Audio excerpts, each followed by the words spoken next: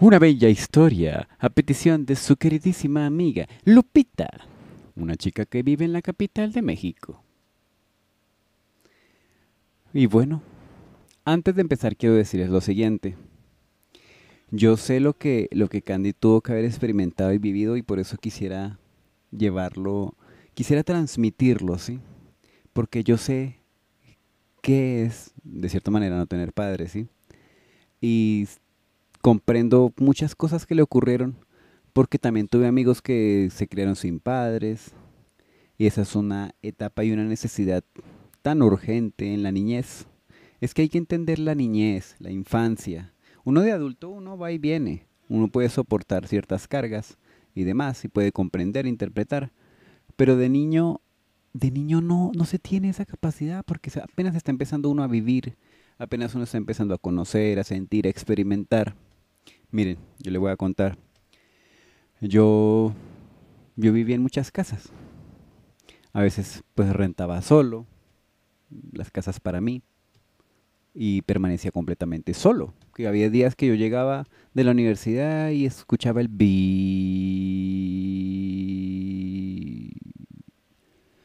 y nada, una soledad increíble que usted no tiene con quien dialogar. Eso en algún momento, ¿no? Porque en otras, en otras etapas también viví con, en casa de familia. Y bueno, ahí fue más tranquilo. Ahí me cogían cariño y toda la cosa, yo podía volver, la gente sabía que yo era bien y era algo bien, porque uno se va y la gente le coge a uno el aprecio y uno puede incluso volver a ir a saludarlos y es algo bonito. Pero también viví en casas tipo inquilinato. Inquilinato son como esas casas que rentan donde hay muchísima gente que tienen hartas habitaciones y ahí el ambiente ya es diferente. Es diferente porque la gente que está ahí es gente que es un poquito, como les dijera, ah, les toca enfrentar un poquito la vida con menos recursos, menos posibilidades y demás. Y entonces se ve de todo. No les voy a explicar exactamente qué, qué se vive, pero de todo.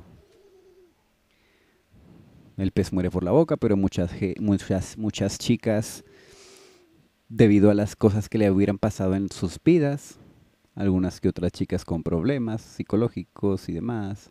Bueno, casualidades de la vida, ¿no? Pero sí alcancé a compartir con muchísima gente. Una chica me contó incluso que había sido abusada así. Esa chica era una chica muy libertona. Le gustaba meterse con muchos hombres y con una facilidad impresionante. Y yo dialogando con ella le dije, oye, y dialogando, dialogando hasta que me contó la situación y yo dije, ah, no, es que a muchas chicas que les pasan esas, esos sucesos traumáticos, ellas, no sé, no sé si es que quieren desquitarse con los hombres o queda esa pequeña esquirla y sienten que, que tienen que estar con cualquiera, ¿no? Es, es que es algo impresionante que en algún momento vamos a tocar ese tema, ¿les parece? Pero eso, eso se ve de todo. Entonces, lo que más me impresionó fue una chica yo ya me iba para vacaciones allá con mi familia. Yo ya iba terminando la carrera y ya me faltaba solamente una materia o un semestre, no me acuerdo bien. Y yo dije, bueno, ya me, voy para mi familia. Y yo dije, bueno, chicas, hasta luego. Y ella me dijo, oye, ¿por qué no pasa la Navidad conmigo? Yo le dije, no, yo tengo que ir con mi familia. Además, como, la verdad, la verdad, aquí de corazón, no me iba a quedar en ese lugar tan tétrico. Es que es una cosa tan tétrica que toda esa gente... Em, Sí, aparentan estar felices y toda la cosa, pero es una cosa que es un vacío, un vacío. Todos estaban ahí con sus vacíos propios.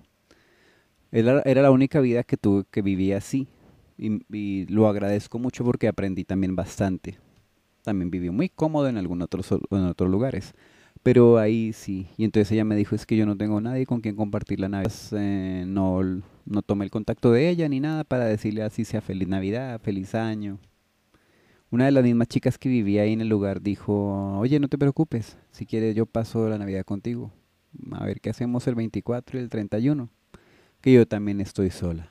Son cosas, cosas que tocan el corazón, tocan el alma.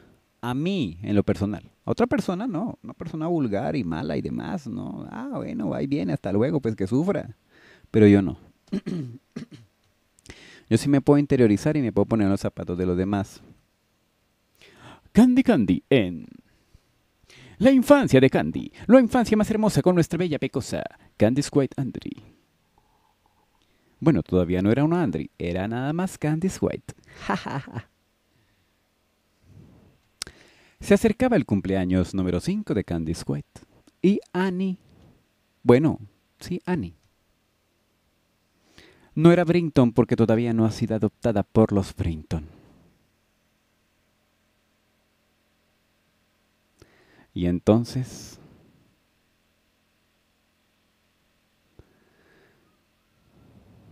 ¿Por qué tanto silencio acá, chicas? No estén tristes. Niños, vamos a ver. Reúnanse, reúnanse todos. Vamos, vamos, agrúpense en filas, filas, filas, filas, filas. Y eso. Vamos a jugar a póngale la cola al burro.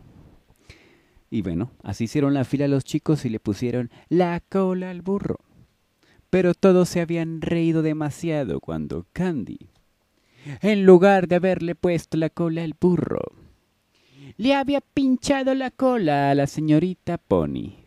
¡Ay! Candy, ¿qué estás haciendo? Ay, eh, me equivoqué mi sentido. Es que confundí el norte. Se me fue el norte, el oriente. Ay, mi niña, debes tener más cuidado. Y todos estaban riendo porque ella se había equivocado. Y después tenían que romper la piñata. Dale, dale, dale, rompe la piñata.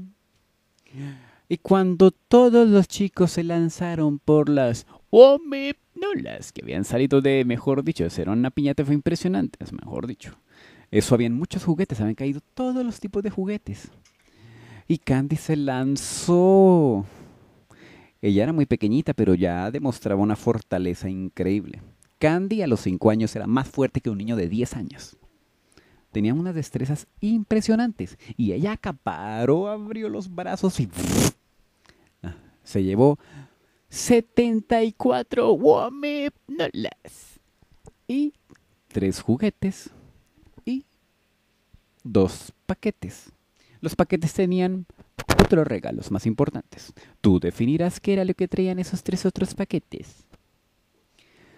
Y todos están sorprendidos con Candy. Ella era impresionante.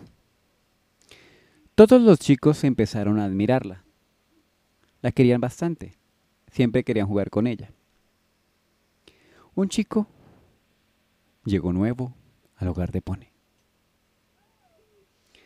Sabiendo su duro destino, él sencillamente no quería encajar con ninguno de los que estaban presentes. Candy intentó hacer amistad con el chico, y el chico que no y que no y que no. Entonces Candy le puso muchas pruebas y toda la superó Candy. Ah, bueno.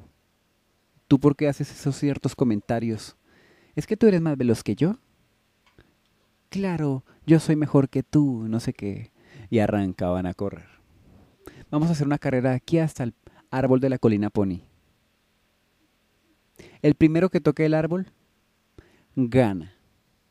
Y empezaron a correr. Y Candy arrancó a correr con esas botas rojas y casi se tropieza porque había un conejo blanco, mejor dicho, entre la nieve. El otro niño le pisó la cola al conejo. Y el conejo inmediatamente se metió en una cueva. Se metió en una cueva y Quadander siguió corriendo por toda la colina que estaba repleta de nieve. Y fue la primera en tocar el árbol. Y el otro niño quedó humillado.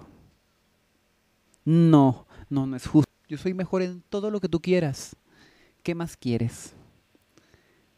Mm, subamos a ese árbol hasta la punta del árbol. El primero que toque la punta del árbol y se devuelva, gana. Está bien. El niño no sabía que Candy tenía una destreza sobrenatural.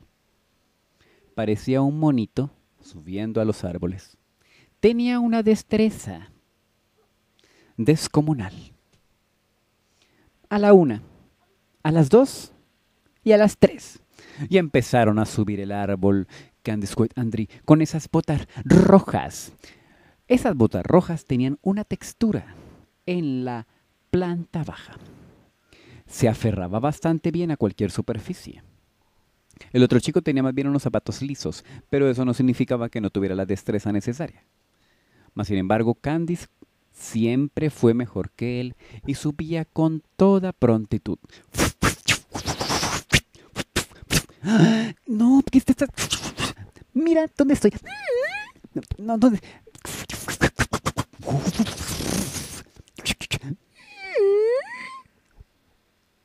Hiciste trampa, hiciste trampa. No, señor, miran, todos los niños están de testigos. En ese momento ya habían 30 niños en el hogar de Pony. Hartos niños de todas las edades posibles. El más pequeñito tenía un añito, pero él no estaba justamente ahí. Él estaba siendo cuidado por la señorita Pony y la hermana María. Todos los chicos están de testigos. ¿No es así, Annie? Sí, así es, mi hermana Candígano. Bueno, ¿y qué más te parece? Ah, sí. Pues yo soy más rápido que tú deslizándome sobre la nieve. Ah, ¿tú crees eso, no? Candy bajó y chicos, pásenme, pásenme el deslizador. Y le pasaron un objeto bastante plano, parecida a una tabla de surf. Y otros chicos le pasaron la del nuevo chico. A ver, no solamente esta va a ser de velocidad, sino de equilibrio. El primero que llegue hasta la casa, Pony, deslizándose desde acá, y no solo eso, el que llegue más lejos, es el que gana. Me parece justo y necesario, Candy. Además, tú nunca has sido la mejor. Siempre he sido yo. Pues eso va a quedar en claro, chico. Y entonces empezaron la carrera. A la una, a las dos y a las tres.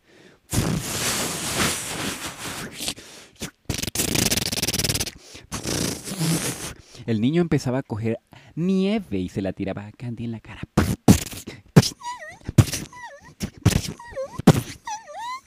No hagas trampa.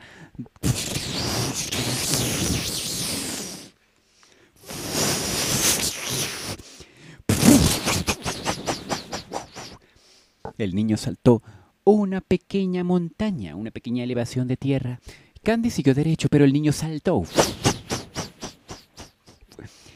Y en ese preciso instante donde volaba, el niño veía a Candy por debajo y él iba en el aire flotando en su trineo.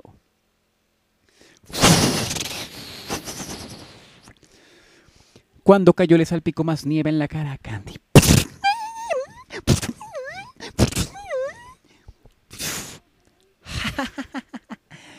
voy ganando, voy ganando. Cuando Candy se agachó.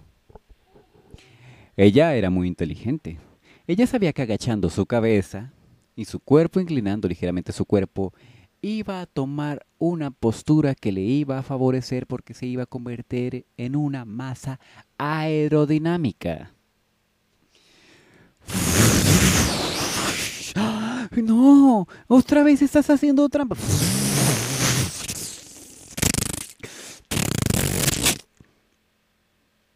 Te gané. ¿Ah? ¿Ah? ¿Ah? ¿Ah? ¿Ah? Y ahora, ¿quién es la mejor? No es justo, no es justo.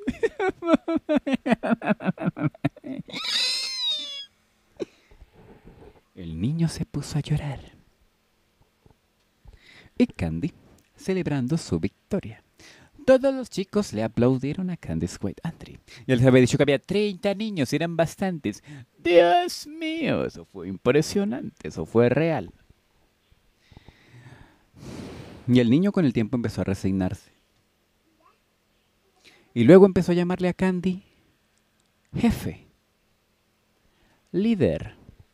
Jefe, ¿dónde estás, jefe? Y Candy, aquí estoy en la cocina lavando los platos. Jefe, dígame. ¿Te puedo ayudar? Candy ya tenía siete años en ese entonces. Y el chico le pidió ayuda a Candice. Eh, bueno, a ver, yo soy tu jefe, ¿no es así? Sí, jefe. Lávame toda la cocina, los platos y las ollas. Sobre todo las ollas. Ah, pero jefe, nada.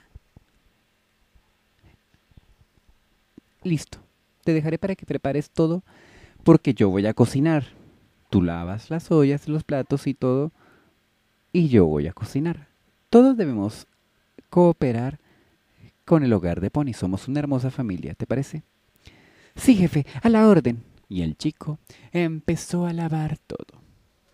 Solo que Candy se percató que el chico se estaba lastimando las manos porque estaba haciendo mucho frío. Es que ustedes imaginan la temperatura, tocar el agua con las, tocar el agua helada, mejor dicho, casi que bajo cero. Habían mañanas en las que llegaban ellos a preparar, mejor dicho, el chocolate. Fue impresionante. Y abrían la llave y salía un bloque de hielo. O si no, afuera los tinacos de agua que tenían en reserva también eran un bloque de hielo. Con un palito tocaban el hielo. Súper sólido que no podía nadie. Entonces a veces tenían que romper el hielo y calentarlo. Tenían que calentarlo así para que se derritiera y luego ya podían preparar lo que quisieran. Y entonces, Candy se percató que el chico estaba lastimándose las manitos por el frío. Le dijo, oye, toma. ¿Me vas a ayudar, jefe? No. Te voy a pasar estos guantes. Son para que no te lastime las manos. Ah, bueno, sí. Continúa. A la orden, jefe. Y el chico continuó. Cuando Candy se fue a la habitación a descansar un momentico, la hermana María fue y la buscó y le tocó primero la puerta por educación. Pese a que eran unos niños, también tenía que respetar su privacidad porque justamente estaban enseñándole a ellos buenos modales, conducta y comportamiento.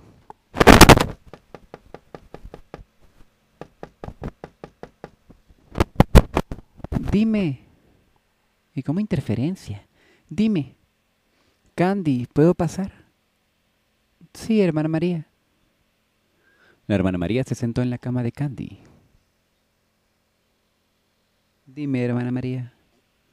Candy, tengo que hablar contigo, mi niña. ¿Qué pasa? no crees que eres demasiado dura con, con el niño nuevo? Además, él te, ya, te, ya te tiene mucho cariño, ya te quiere bastante. ¿Por qué eres tan dura con él? Lo que pasa es que él tiene que aprender muchas cosas. Y además no es de todos los días. Solamente es ahorita que quiero que tenga una pequeña, un pequeño escarmiento. No es que a mí me guste que él haga las cosas, no, pero quiero enseñarle a que hay que ser disciplinado. Yo justamente en ese momento estoy descansando la espalda porque ahorita voy a ponerme a ordeñar la vaca que tenemos en el establo. Ah. Pero no seas tan dura con él. No, no. Señora María, lo que pasa es que... Hermana María, lo que pasa es que yo siento que él tiene que aprender muchas cosas.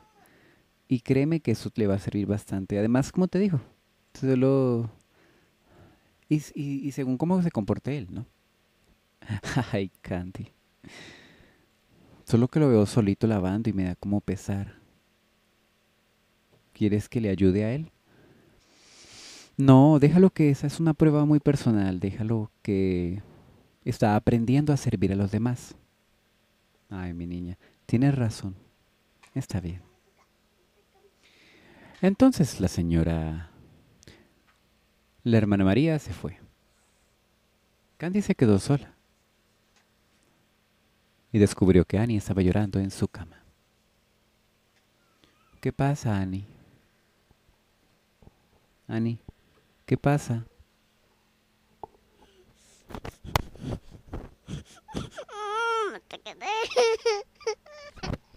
¿Por qué lloras, Ani?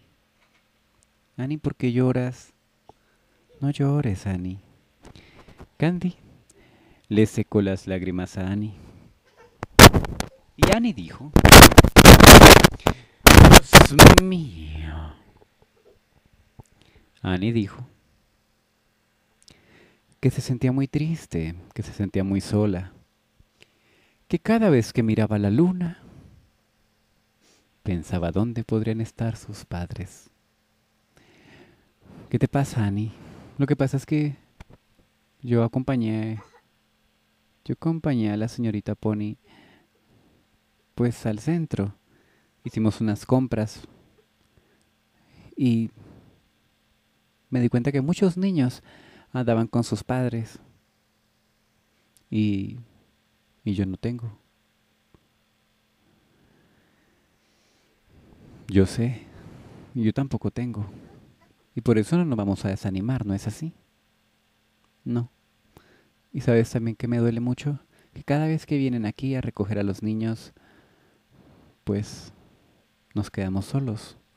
Y las despedidas son muy tristes. Yo no me quisiera despedir de ninguno de todos ustedes, porque, sobre todo de ti, porque, porque yo los quiero mucho a todos ustedes. Y me daría muy duro que todos ustedes se fueran. Sí, Annie, pero esas son las cosas que tenemos, con las que tenemos que aprender a vivir. Porque ¿no te parece mejor que ellos estén en un lugar mejor? Sí. En ese entonces, Annie estaba muy triste porque no había sentido el calor de una familia, el calor de una madre que le dijera a su hija que la ama, el calor de un padre que siempre estuviera con su niña, la protegiera y que le dijera que es su más bella princesa. Esas cosas no las tienen algunas personas. Ese sentimiento siempre está ahí. Y cuando se es niño, se necesita mucho más de ese calor humano. Muchos no lo manifiestan, muchos no saben lo que les ocurre, pero sus actitudes y comportamientos reflejan la verdadera necesidad. No todos tienen la capacidad para descubrir cuando alguien tiene alguna falencia, cuando alguien tiene una necesidad como por ejemplo Candice White Andre. Era en este momento Candice White. Candice White tenía la costumbre de llamar la atención.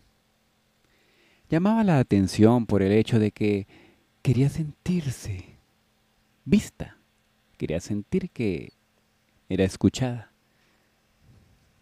Al no tener una figura paterna, ella quería acaparar la atención de todo el mundo. Y esa es una conducta muy natural en muchos jóvenes, que llegan al mundo sin tener a sus padres, sin ese calor verdadero. Annie, ¿sabes qué he pensado últimamente? ¿Qué has pensado, Candy? ¿Qué te parece mejor? ¿No tener nada como nosotros? O tener un, mal padre. Recuerda que la señorita Pony y la hermana María han estado siempre ahí para nosotras. Nos han brindado todo su cariño y su disposición. ¿Tú qué preferirías? Tener algo, pero no de la mejor manera. O no tener nada y tener al menos ese alguien que siempre nos presta ese cariño incondicional. La señorita Pony y la hermana María, de cierta manera somos bendecidas. Y yo en lo personal no cambiaría eso por nada. Yo no cambiaría a la señorita Pony y la hermana María. Así mis padres verdaderos llegasen. Yo no quisiera dejar nunca a la señorita Pony y la hermana María. Para mí son lo mejor que me ha podido pasar en la vida. Pero yo quiero unos padres verdaderos, Candy. Yo quiero que me abracen y que y que me digan que soy su hija. Sí, sí, sí, sí. ¿Y no te gusta mi compañía? Todo el cariño que yo te puedo ofrecer. Sí, Candy. No quiero que nunca nos separemos tú y yo. Así es, Annie, nunca nos separaremos. Y quiero que hagamos una promesa. Lo que sea, Candy, por estar contigo siempre. quiero que nos prometamos nunca separarnos. Quiero que que nunca me abandones y que cuando vengan a adoptarnos nos comportaremos de la peor manera para que crean que no merecemos la pena, para que crean que no valemos nada. ¿Estás de acuerdo? Me parece una gran idea, Candy. Entonces ya sabes, mira. ¿Ves? Pelas dos dientes, subes la nariz, desorbita los ojos y pones tu peor cara. Mm. qué fea te ves, Candy. sí, Annie. Las dos chicas se rieron de sus caras. Habían estado practicando cómo espantar a sus futuros padres adoptivos. Habían llegado muchos padres adoptivos. Y la primera vez que vieron a Candy. A ver, me gustaría ver a esa chica que está atrás, la de las botas rojas. Ah, Candy. Sí, ¿me dejas verla? Mucho gusto, señor.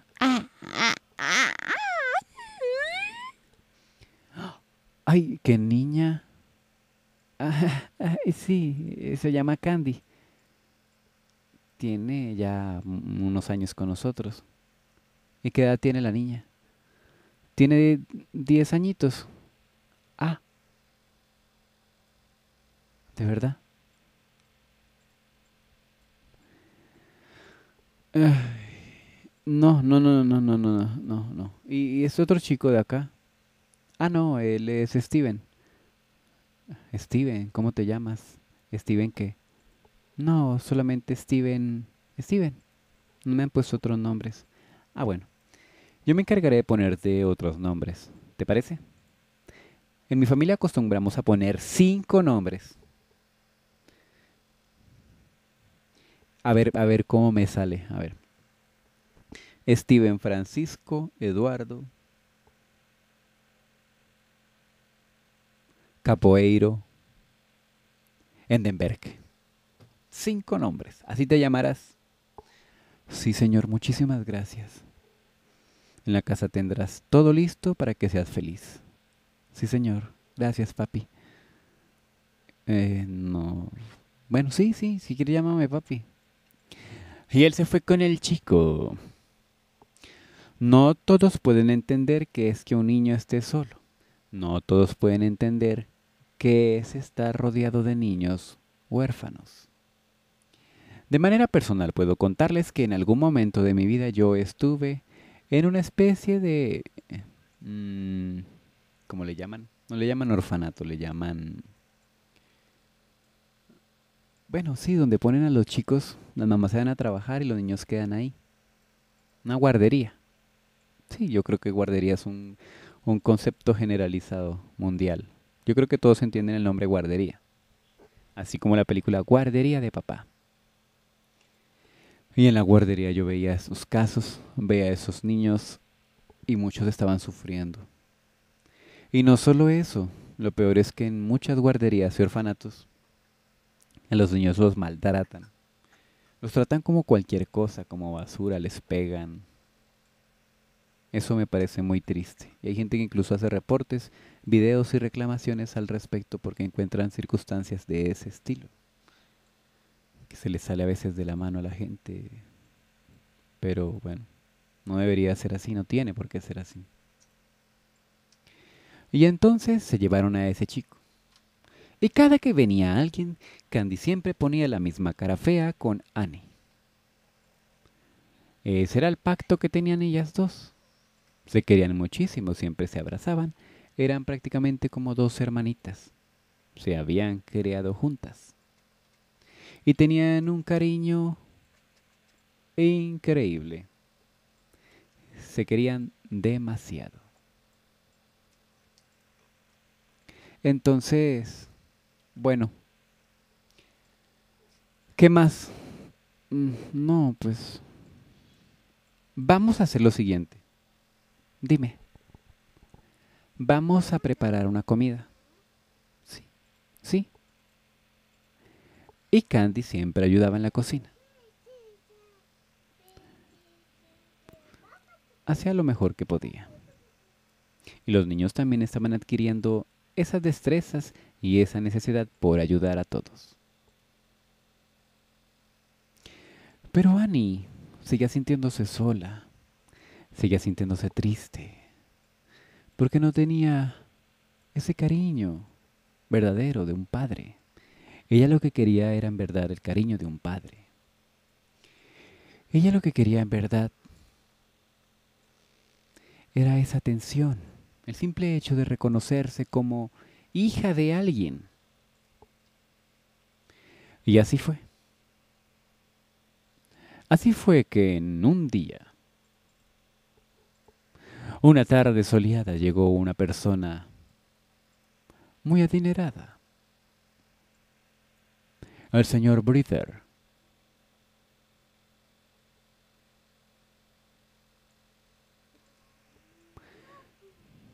Y el señor Brither vengo buscando una niña. Y se encontró con Annie. Y se la presentó a su mujer. Inmediatamente hubo una conexión. Se parece muchísimo a la hija que perdí. Él dialogó mucho con la hermana María y la señorita Pony. Y ella les contaron que no era posible porque ella tenía un lazo muy, tenía un vínculo muy fuerte con su hermana Candy que no era posible separar a las niñas, cómo se iban a dejar solas. Pero tenía que suceder. Y al fin de cuentas, cuando él llegó y se ofreció, ella inmediatamente dijo que quería un papá y se fue con ellos, rompiendo toda promesa y juramento que se había hecho con Candy, dejando a un lado todos los días de perseverancia en los que habían declinado a ser adoptadas. Así que Candy se había sentido no solamente traicionada,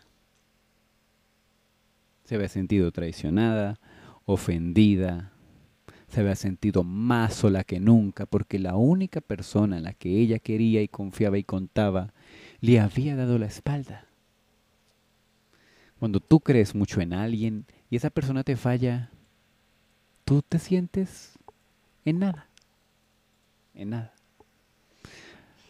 te puedes llegar a sentir estúpido por incluso haber creído y haber confiado.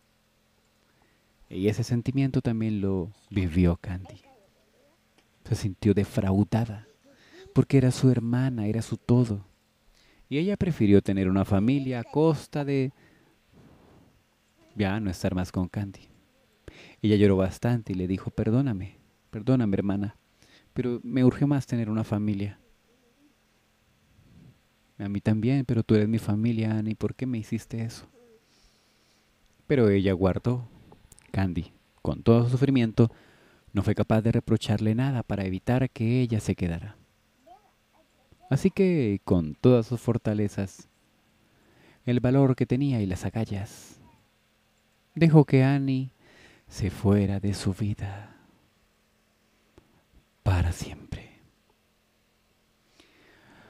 Al día siguiente llegaron a, recoger a Annie, la familia de los Brinton, unas personas muy adineradas que habían perdido a una niña, a la hija de ellos, y que casualmente, como cosas de la vida, ellos creían que era un regalo del cielo que se habían encontrado con una chica muy parecida a su hija, no solamente por la mirada, sino por también su apariencia física. Y así fue. Candy sintió tanto dolor y tanto coraje, y se sintió tan decepcionada y tan defraudada que no fue capaz de despedirse de ella. Solamente llegó a sentir, bueno, parte de su rencor no era un rencor como el que se puede sentir por un enemigo, era un rencor simplemente por haber sido traicionada, por haber sido engañada, mentida, defraudada, decepcionada. ¿Cómo era esto posible? Pero así fue. Candy se lo pasó todo el día llorando en su habitación. Lloraba todo el día. ¿Cómo fue posible que mi hermana me hiciera esto? Si éramos tan unidas y nos habíamos hecho un juramento. La única respuesta fue, perdóname, Candy. Y ahora se sentía más sola que nunca. Estaba rodeada de chicos, sí. Así como Lupita está rodeada de cientos de personas viviendo en la capital de México, que ya no se llama el DF, sino el Distrito Federal. ¿O no? ¿O no? Se llama es Ciudad de México. Eh, estoy en México, pero me voy para México. ¿Para dónde te vas? Para México. Pero si estamos en México, no, me para México, o sea, la capital. Dios mío. Así era. Y hay muchas personas que se sienten acompañadas y rodeadas de gente, pero están solas. Eso es peor. Es peor estar rodeado de gente y sentirse solo. Eso es peor. Y así se sintió Candy. Sola y abatida. No solamente porque era huérfana, sino porque había perdido a su hermana. La única cosa bonita de todo esto es que se había criado en un lugar muy bonito llamado el hogar de Pony. Si yo les contara a ustedes detenidamente lo que ocurrió en la Segunda Guerra Mundial, ¿qué hicieron los nazis? Los soviéticos. ¿Qué hizo toda esta gente que quería experimentar biológicamente con toda la raza humana, sacrificando niños de los padres que habían muerto en guerra? O cuando los nazis querían matar a toda la gente. Simple hecho de tener, por tener otra ideología o por haber nacido con ciertas condiciones. Entonces, experimentaban con niños pequeños, los apartaban, niños muy pequeñitos con edades tempranas, 5, 6, 7 años que empezaban a vivir querían el cariño de todos, querían el afecto, pero lo único que encontraron fue miseria y tristeza, maltratos, aberraciones y demás. Es por eso que pese a las circunstancias que nosotros vivamos en nuestro diario vivir, tenemos que ser agradecidos porque estamos vivos, tenemos la salud, Y así no hayamos tenido a, la gente que nos haya querido siempre o que hubiera estado ahí para nosotros, siempre existirá o existe esa personita especial que siempre está para darnos un buen consejo de ánimo y de aliento. En este caso será el príncipe de la colina. Steimer Baron, su primer Dios mío. Chicas, no se desanimen. Ánimo, vamos para adelante, fortaleza y así. Me contaba una señora una vez, una chica aquí, suscriptora, aquí entre nos, aquí entre nos, que ella tenía una familia aquí en México. Y ella quería muchísimo a su familia. Y ella se fue a vivir a Estados Unidos. Ella empezó a enviarle dinero a la familia y empezar a guardar un dinerito. A guardar, a guardar, porque decía, bueno, es que mi cultura me gusta, es que me gusta el taco, me gusta mi familia, me gusta mi gente. Estoy, estoy en Estados Unidos de manera temporal, pero yo después regreso, ya cuando sea un poquito más fuerte y tenga ciertos ahorros. Algunas personas de su familia eh, tenían acceso a los datos de la cuenta porque eran los que gestionaban cuando ella enviaba y demás. Cuando ella tenía cierto capital, digamos 100 mil pesos mexicanos, muchas de esas personas empezaron a tener problemas y empezaron a demostrar lo que en verdad eran. Empezaron a madurar y a crecer y le dieron su propia puñalada trasera. Le robaron el dinero que tenía ahorrado por tanto tiempo, su propia familia. Y ya después de eso, ¿en quién iba a confiar? Esa tristeza tan grande de no poder creer en su propia familia. Y Candy era lo único que tenía, era su hermanita, Annie. Su hermana Annie era lo único que ella tenía y ya la había decepcionado. Siempre miraba las estrellas y decía, Annie, ¿por qué? ¿por qué me hiciste eso si yo no, si yo no, si yo jamás hubiera hecho eso contigo, jamás te hubiera dejado sola. Pero bueno, eso era el suceso que ya había acontecido. El tiempo pasó y ella empezó a sanar de sus heridas muy lentamente. Muy lentamente. Ya no tenía la misma chispa en sus ojos, ni el carisma, ni esa forma de ser que la caracterizaba, ese actuar, el que llaman modus operandi. Todo el mundo sintió que ella le había golpeado bastante la ausencia de su hermana. Y aquí sí seguía su vida muy triste, muy triste y sola. Le voy a contar otra historia personal. Cuando yo empecé a hacer esas historias de Candy Candy, hubo una persona cercana a mis círculos sociales que empezó a burlarse de mí porque yo estaba narrando la historia de una chica huérfana. En una de sus tantas borracheras me dijo, no, ¿me va a dar un orfanato? Me va a dar un orfanato así. Lo siento mucho si estás escuchando, Dios mío. Pero a mí nunca me ha parecido gracioso porque yo he tenido una cercanía muy, muy directa con lo que es esto. Sobre todo en la etapa de la infancia, que es algo eh, que duele más.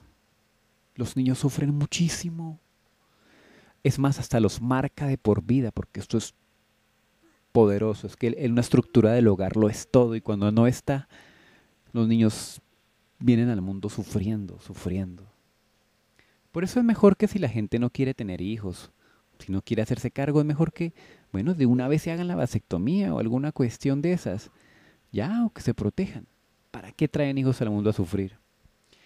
Casualmente la señora que me dijo, ay, no me un orfanato y riéndose de mí porque yo hacía historia de Candy, que es la chica una huérfana. A la hija de ella se la llevó el bienestar.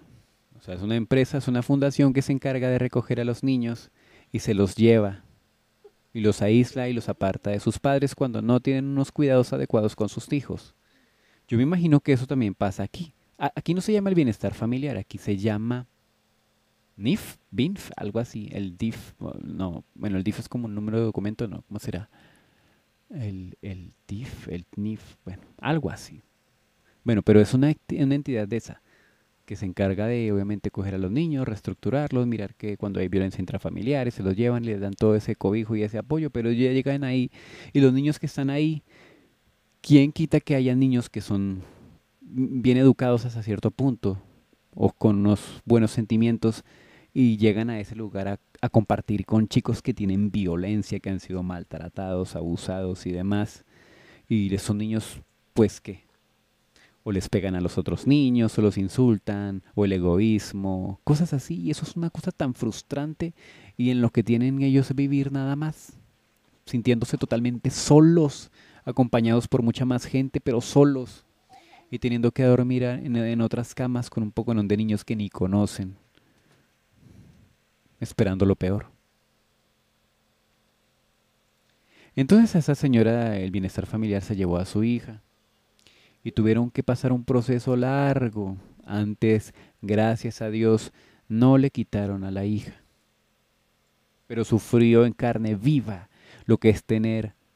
Yo creo que la niña de cierta manera también sufrió lo que es estar así, compartiendo con otros niños ajenos a su realidad y mucho más dolor para la madre que se había separado de su hija y se había dado cuenta que había obrado mal. Mi hija, es que yo no le he dedicado tiempo a ella. Y así está la situación. Ya era muy tarde. Cosas de la vida solucionaron la situación y ella pudo reencontrarse con su hija. Pero les puedo garantizar a ciencia cierta que jamás en la vida volverá a hacer un comentario de ese estilo no sé si es un mensaje divino, no lo sé. Yo no le deseé nada, pero las cosas se le fueron dando. Entonces es importante tener un poquito de empatía y de compasión, porque Porque un niño huérfano es lo peor. Un niño huérfano es algo muy triste. A ustedes les parece algo de reírse, porque no lo han vivido. No lo han vivido. Pero eso es morir en vida, haga de cuenta.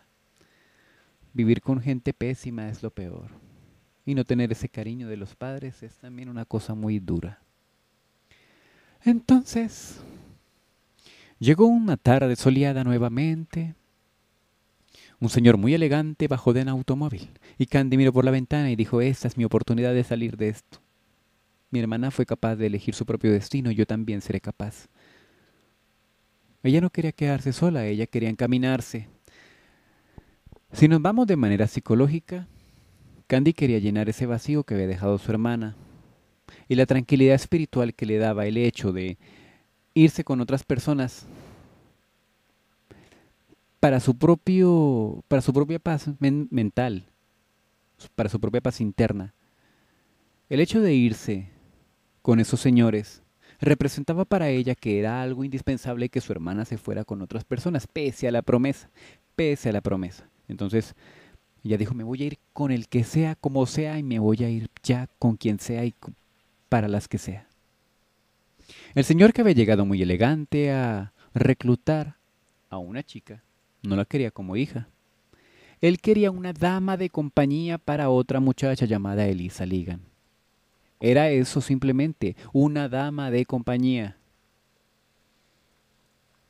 Todos pensarán de manera cachonda que una dama de compañía solamente se puede ser explícita para el triple X. Dios mío, una dama de compañía. Pero no. Hay un concepto llamado escort. Y hay otros conceptos que no me acuerdo cuál es el nombre. Pero bueno, son chicas y señoritas y gente de todas las edades que por ciertas moneditas se prestan para acompañar a ciertas personas, ejecutivos, empresarios o gente que sencillamente se sienta sola. Eh, ¿Cuánto me vas a cobrar? No sé, yo imagino que la machichipata cobrará mil pesos. Acompáñame a tal lado y te doy mil. El día. Otras bien bonitas y despampanantes cobrarán ciertas cantidades. A mí la verdad eso me parece absurdo. Pero como la gente vive de apariencias, entonces, ay, mire, como la mujer que llegó. Pero son cosas de la gente adinerada, pero sucia. Porque hay gente adinerada que no hace ciertas cosas. Y entonces son esas chicas damas de compañía. No necesariamente tiene que ser el trasfondo triple X, Dios mío. No. También simplemente la pura compañía. Y lo que querían con esta chica llamada Annie, no, perdón, Ani no, Ani ya se fue. Lo que querían con esta chica de compañía era que fuera la dama de compañía de una chica llamada Elisa Ligan. Una chica malvada. El padre de ella consideró que lo mejor era que ella tuviera otro tipo de influencias y de compañías porque estaba muy ensimismada y tenía un carácter muy malvado. Cuando se le preguntó a Kiyoko Mizuki le hicieron la pregunta a Kyoko Mizuki, oye, ¿tú resaltarías algo positivo en Elisa Ligan? Ella dijo, no, absolutamente nada. Como personaje, todos los seres humanos tenemos una virtud, tenemos algo bonito que resaltar. Pero yo como, como autora y creadora de este personaje, puedo decir a ciencia cierta que no, no hay nada que rescatar en ella. No se puede rescatar nada en ese personaje. Y ustedes ya comprenderán, ya comprenderán que la compañía que necesitaban para Elisa Ligan simplemente era esa persona que estuviera ahí con ella, que jugara con ella. Ella no quería ninguna compañía. Ella era pura maldad con su hermano. Y Candy, yo quiero que me adopten, yo quiero, yo quiero. Pero señorita, lo que buscamos es una dama de compañía. Buscamos una compañera para, para Elisa Ligan, que es una hija de mi señor. No importa, no importa, llévenme. Yo quiero que me adopten. Y así fue. Se hizo el trámite legal. Y se llevarían a Candy en uno de esos días. Se llevarían a Candy en uno de esos días.